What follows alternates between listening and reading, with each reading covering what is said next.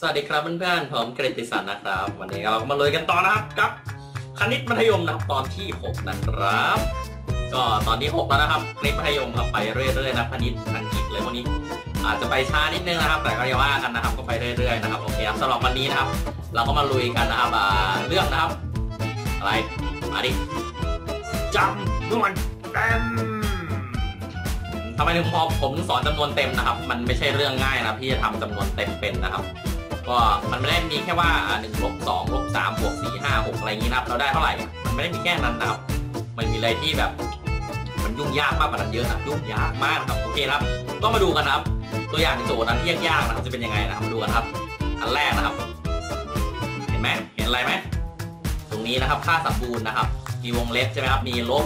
ใช่ไหมครับ มีวงเล็บน้อยวงเล็บใหญ่นะครับ โอเคนะครับงงไหมไม่งงครับอันที่สองนะครับไปดูอีกข้อหนึ่งนะครับ หลังจากคลิปนี้นะครับเราก็จะมาทำกันนะครับว่าในนี้นะครับจะได้เท่าไหร่นะครับนะแต่มีเสริมเป็นส่วนด้วยส่วนก็ไม่ลบก็ได้นะครับ โอเคนะครับ เข้าใจไหมครับคราวนี้ตรงนี้มีค่าสัมบูรณ์อีกนิดนึงนะครับโอเคนะคมาดูกันนะค่าสัมบูรณ์สัมบูรณ์เลยโหเยอะแยะไปหมดนะครับมาดูกันครับผมจะเขียนก่อนครับโชว์ให้ดูก่อนครับ โอเคนะครับก็เราก็ต้องมาเริ่มที่เบสิกกันก่อนนะครับว่าเบสิกของเรามีอะไรบ้างนะครับเบสิกคืออะไรค่าสัมบูนะครับสัมบูรณ์สัมบูรณ์เป็นค่ายังไงก็คือค่า ค่าสัมบูรณ์นะครับ ก็คือมันจะเป็นบวกเสมอนะมันไม่เป็นลบนะครับโอเคครับเช่นนะครับค่าสัมบูรณ์มันจะเป็นเขียนตรงนี้นะขีดตรงนี้นะครับแล้วมันก็มีเลขข้างตรงในข้างในนะครับ เช่นสามนะครับ ค่าสัมบูรณ์ของสามได้เท่าไหร่สามนะครับแล้วถ้าค่าสัมบูรณ์ของลบสามล่ะได้เท่าไหร่ก็ได้สามเหมือนกันครับแปลว่าค่านี้นะครับมันจะเป็นค่าบวกเสมอนะครับโอเคไหมครับ เช่นนะครับ มันนะบอกว่าอย่างนี้มากกว่าสามจริงหรือไม่ เราต้องตอบว่าอะไรจริงนะครับดูนะครับ เพราะว่าลบสี่นะครับค่าสมบูรณ์ของลบสี่ได้เท่าไหร่สี่นะครับ มากกว่าสามนะครับ จริงหรือไม่จริงนะครับโอเคนะครับ ก็อันแรกก็ไปแล้วนะครับค่าสมบูรณ์แค่นี้นะครับค่าสมบูรณ์ไม่มีอะไรมากครับก็แค่ถ้าตัวไหนเป็นลบนะครับ มันก็จะเป็นบวกเสมอนะครับ ถ้าเป็นค่าสมบูรณ์ของศูนย์ก็ได้ศูนย์นะครับโอเคครับก็ต่อไปนะครับก็เรื่องอะไรเรื่องการแจกแจงครับ แจกแจงแจกคำแปะอะไรนะแจงแจกแจกแจงนะครับแจกไปเรื่อยนะครับ โอเคครับถ้าแจกแจงเป็นไงนะครับ สมมุตินะครับสมมุตินะครับ เรามีนะครับอ่าเช่นอ่าห้านะครับ บวกสามใช่ไหมคูณสี่นะครับ เท่ากับเท่าไหร่นะครับ โอเคครับ ลองลองลองลองทำครับ ตรงนี้กับตรงนี้บวกกันได้แปดแปดคูณสี่เท่ากับสามสิบสองนะครับใช่ไหมครับ มันแจกแจงได้เป็นอะไรนะครับ มันแจกแจงนะครับ การแจกแจงนะครับมันจะแจกแจงครับได้เป็นมันแยกวงเล็บออกมาครับหรือว่าจะรวมวงเล็บก็ได้นะครับ ก็คือแบบนี้นะครับ5คูณ4นะครับบวก3คูณ4ครับเห็นไหมงงไหม4นะครับ มันจะไปคูณทั้งสองตัวนี้นะครับ มันก็เลยแล้วบวกตรงนี้ก็จะไปอยู่ข้างนอกวงเล็บนะครับ มันก็เลยกลายเป็น5คูณ4บวก3คูณ4ครับมีได้เท่าไหร่20มีได้เท่าไหร่12นะครับบวกกันได้เท่าไหร่32ครับเท่ากันหรือเปล่านะครับ เท่ากันใช่ไหมครับแหม นี่แหละคือการแจกแจงครับ อันนี้สำคัญมากนะเพราะว่าจะใช้บ่อยมากนะครับสำหรับค่าแจกแจงครับต้องคนก็ต้องเรียนรู้ไว้นะครับ ไปใช้นะครับทำให้มันมันหาคำตอบง่ายขึ้นนะครับ บางไม่งั้นบางทีมันจะหาคำตอบยากมากนะถ้าไม่มีถ้าไม่รู้จักวิธีการแจกแจงนะครับ ต่อไปอะไรต่อไปเลขศูนย์นะครับ เรารู้ใช่ไหมว่าบวกลบอะลองดูนะครับ ถ้าบวกลบศูนย์มันจะเป็นเกิดมันจะเกิดอะไรขึ้นหกลบศูนย์ได้เท่าไหร่ ได้หกใช่ไหมหกบวกศูนย์ได้เท่าไหร่ก็ได้หกเหมือนกันใช่ไหมแล้วถ้าหกคูณศูนย์ล่ะหกคูณศูนย์ได้เท่าไหร่ไม่ใช่ได้หกนะครับหกคูณศูนย์ไม่ได้หกครับได้ศูนย์นะครับศูนย์นะครับแล้วถ้าหกหารศูนย์ล่ะได้เท่าไหร่งงไหมงงนะผมก็ไม่รู้ว่าว่าได้เท่าไหร่นะมันไม่มีผลลัพธ์นะตรงนี้ครับ มันจะเป็น infinity นะครับถ้าหกหารศูนย์นะครับ เพราะฉะนั้นนะครับ มันจะไม่มีค่านะตรงนี้จะไม่เกิดขึ้นนะครับโอเคครับ มันจะเป็น infinity นะครับก็คือไม่มีที่สิ้นสุดครับ infinity นะครับเฮ้ยไปตัดซ้ายโอเคครับ ต่อนะต่อต่อ โอเคครับ หลังจากศูนย์แล้วอะไรเจอหนึ่งนะครับหนึ่งไม่ง่ายนะครับจริงมันก็ง่ายอะไรครับไม่มีอะไรมาก โอเคครับหกบวกหนึ่งได้เจ็ดนะครับหกลบหนึ่งได้ห้านะครับแล้วถ้าหกคูณหนึ่งล่ะได้เท่าไหร่ก็ได้หกนะครับ ว่าหกคือหนึ่งคือคูณแล้วมันได้ตัวเดิมนะมันคิดอะไรมากครับเราก็มีหกหารหนึ่งได้เท่าไหร่ก็ได้หกเหมือนกันนะครับไม่ต้องคิดอะไรมากครับ อันนี้น่าจะรู้กันนะครับทุกคนนะครับโอเคครับสำหรับหนึ่งก็ไปแล้วนะครับโอเคครับต่อไปนะครับต่อไปนะครับ มีอะไรอีก มีตัวลบนะครับ คูณกันนะครับ เราได้เท่าไหร่นะครับลบคูณกันนะโอเคนะครับมาดูกันครับลบคูณโอเคครับ เช่นนะครับสามคูณสี่ได้สิบสองใช่ไหม ถ้าสามคูณลบสี่ได้เท่าไหร่ลบสิบสองนะครับ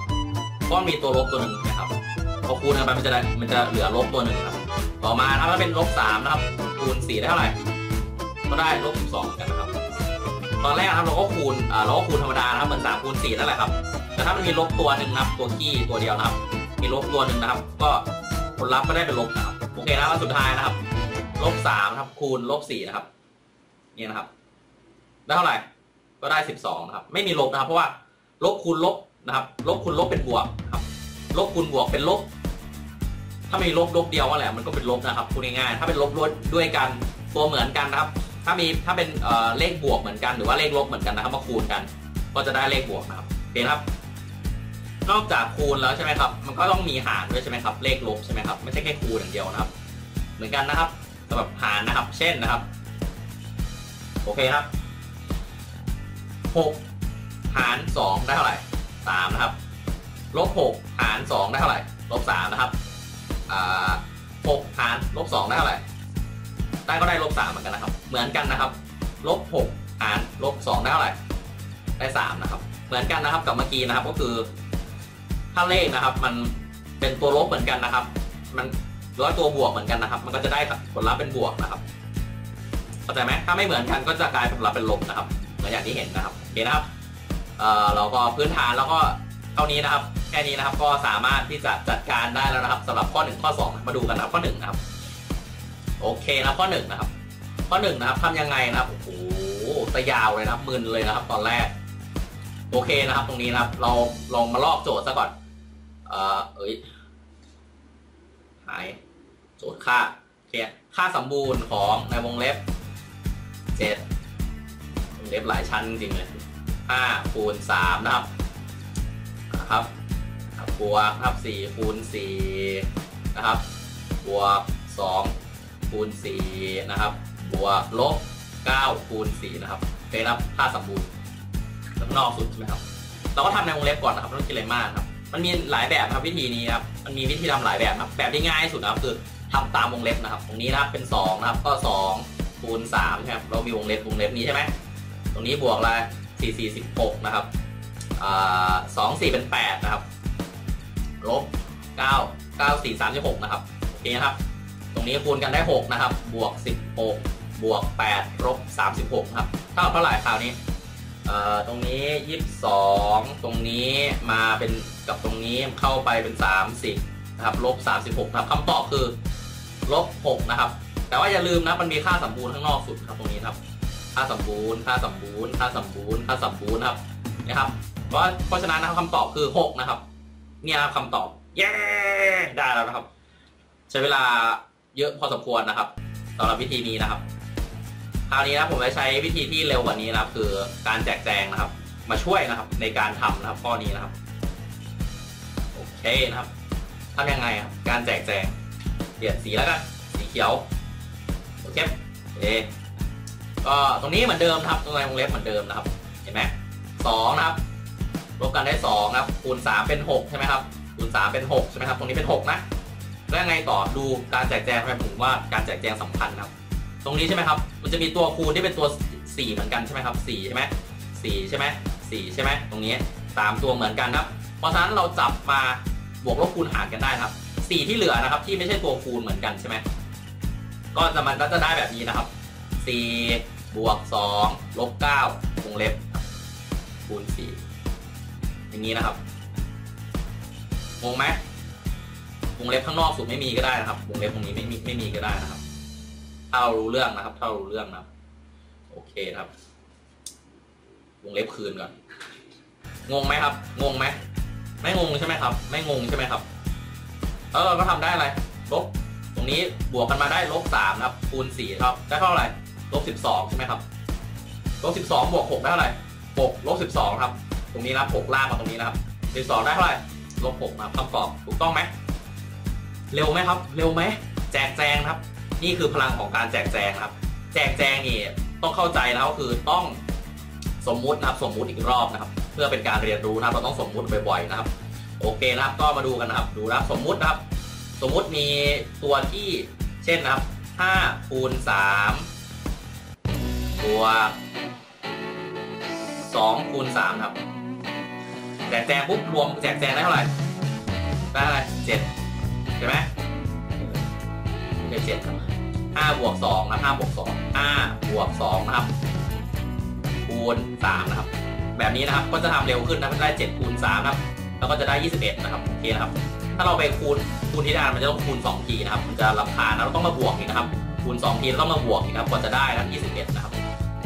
ก็ช้ากว่าพูดง่ายๆนะครับ ถ้าเลขน้อยๆยังไม่คิดอะไรมากนะเพราะว่าเวลาใช้ต่างกันไม่เยอะนะครับ แต่ว่าถ้าเจอเลขเยอะๆนะครับแล้วคุณจะรู้สึกนะครับว่ามันยากมากนะถ้าคุณใช้แจกแจงไม่เป็นนะครับ โอเคนะครับสำหรับข้อนี้นะข้อแรกครับก็ตอบแล้วนะครับเมื่อกี้เท่าไหร่ลบหกนะครับลบหกครับลบโอ้ yes โอเคนะครับ ต่อไปนะข้อที่สองนะครับข้อที่สองยากแล้วเนี่ยไม่ง่ายเลยนะครับข้อที่สองครับดูแล้วนี่ ไมมันลายเยอะจังเลยผมยังมึนนะครับ ขนาดทำเองตั้งขึ้นมายังมึนนะครับ โอเคมาดูกันนะครับเออใช้สีแดงนะครับ ข้อสองนะครับดูครับ ดูไปทีละพจน์ทีละพจน์ครับพจน์หนึ่งคืออะไรครับพจน์หนึ่งคืออันนี้อันหนึ่งนะครับงงไหมงงไหมไม่งงนะครับไม่งงนะครับถ้างงก็บอกนะครับ ก็คือพจน์หนึ่งอะมันจะแยกตรงบวกนะครับ ตรงบวกตรงลบนะครับมันก็จะเป็นแยกเป็นพจน์ๆนะครับ แต่แล้วข้างในบวกลบตรงหนึ่งพจน์นั้นมันจะมีคูณหารนะครับอะไรพวกนี้นะครับนั่นแหละคือหนึ่งพจน์นะครับโอเคนะครับสมมุติครับเอาให้สมมุติทำเลยนะครับข้อนี้นะครับข้อสองครับสี่คูณนะครับไม่ใช่ x นะครับ เพราะว่าผมไม่มี x ไม่มีคูณนะผมเลยใช้ x แทนนะครับแม่ต้องใช้เครื่องหมายดอกจันนะครับโอเคครับก็ตัวนี้เป็นคูณนะไม่ใช่ x นะครับโอเคครับ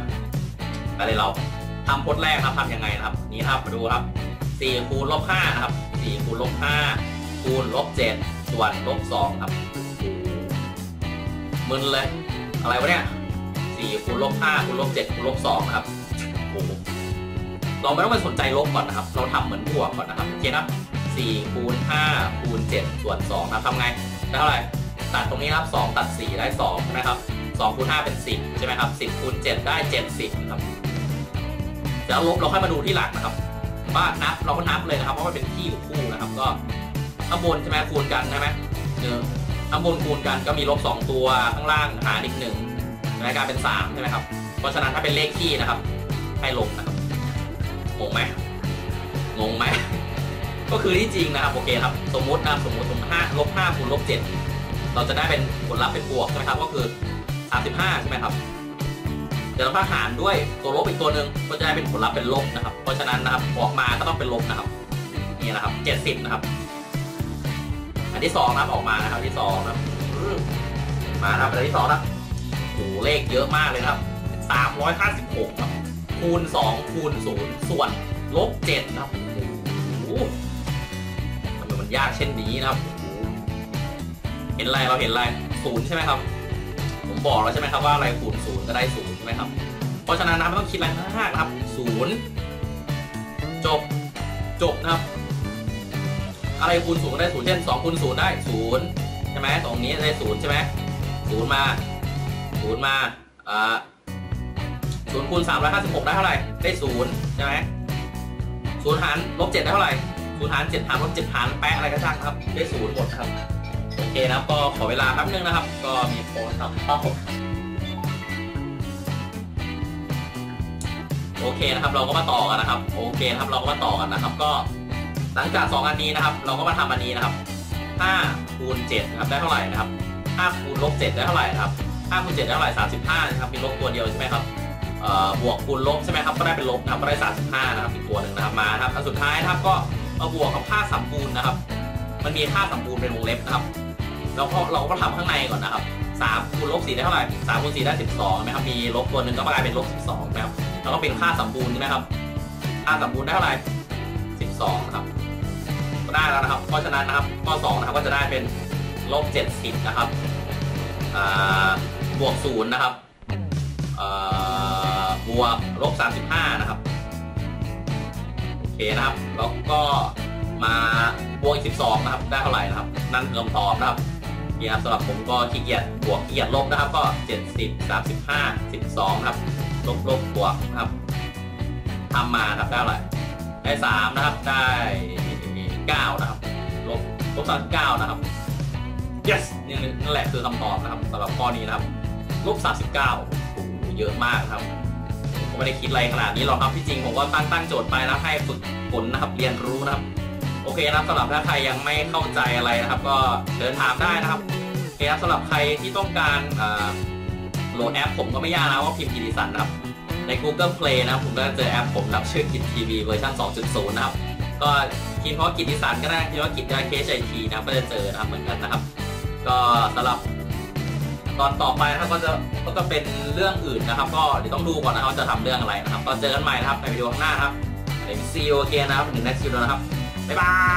ย